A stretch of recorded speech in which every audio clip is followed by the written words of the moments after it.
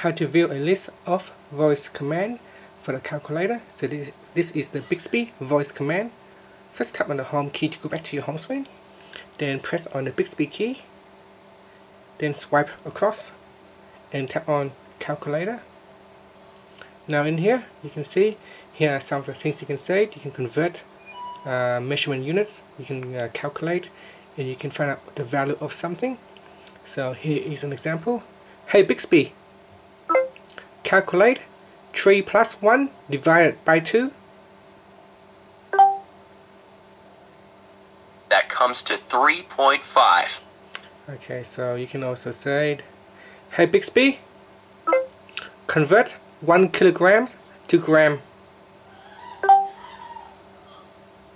That comes to 1,000 grams. Hey Bixby, what is the value of pi? That comes to about 3.1415. So there you go. So here is some list. So you can see other things as well, not just uh, these three commands. And that's it. That's how you can issue a calculator voice command on the Samsung Galaxy S9 or the S9 Plus. Thank you for watching this video. Please subscribe to my channel for more videos.